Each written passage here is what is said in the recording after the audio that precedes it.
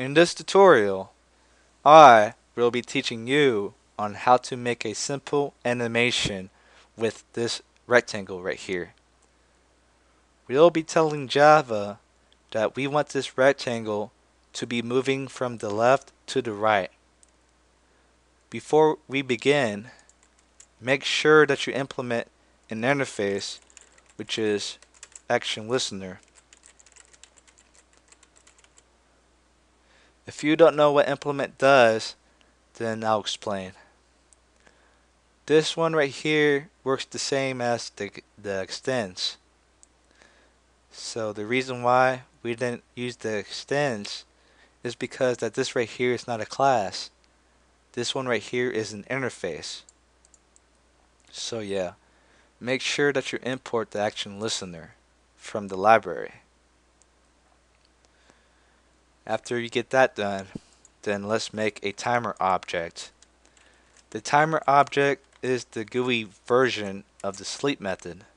So this one right here is good to use for animation. So new timer. So we we have to import the timer from the javax.swing. So choose this one right here. Once you're done with that, then we have to type in two arguments. Like I said before, the timer is the GUI version of the sleep method. So let's put it to sleep for like 5 milliseconds. And for the second argument, we'll use the action listener. This right here is referring to the action listener right here. Once you get done with that, then now let's make two variables. So int x and vel x. This x right here represents the position horizontally of the frame or the panel.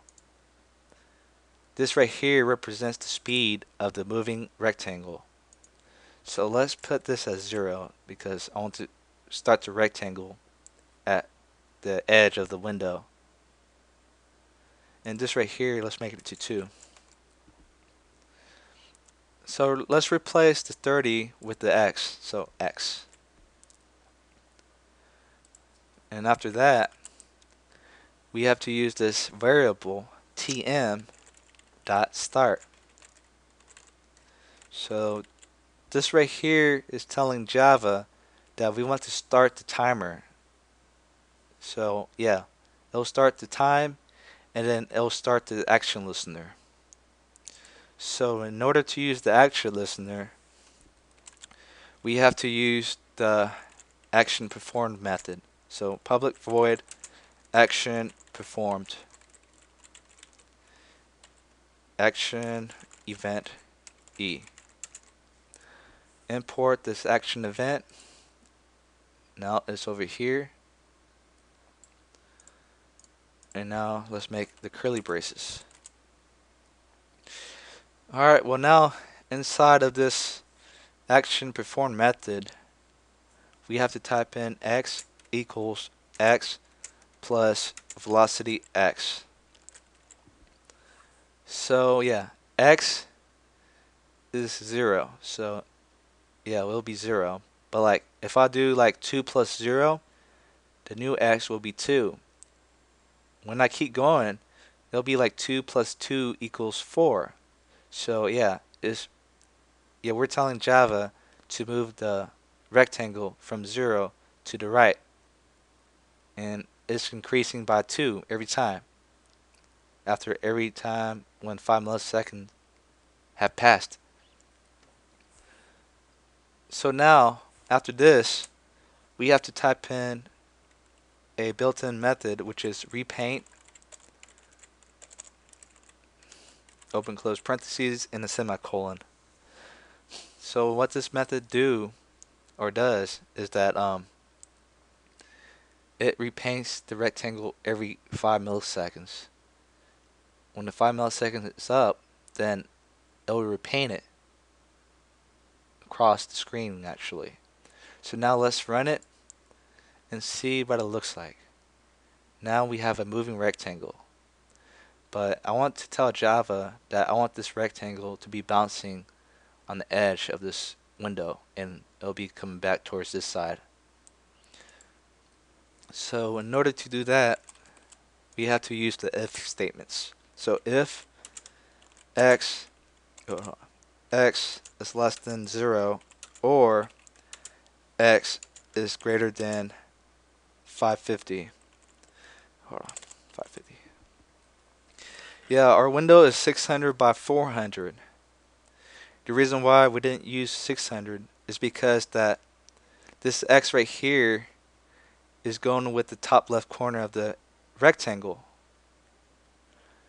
And we have a width of 50 after the X axis or X position.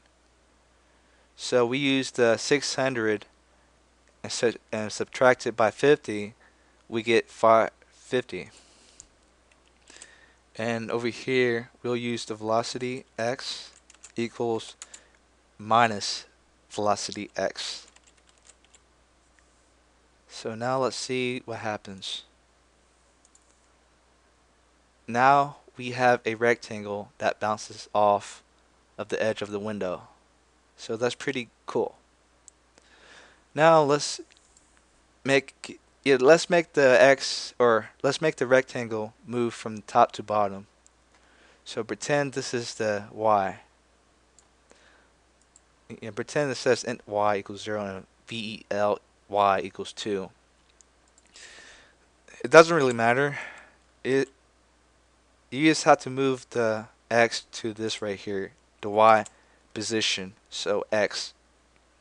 And we have to change the height of the yeah.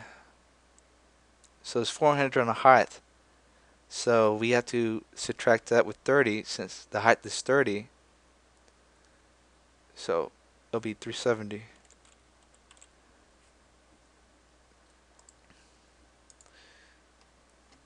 Now we have a rectangle that moves from the top to the bottom.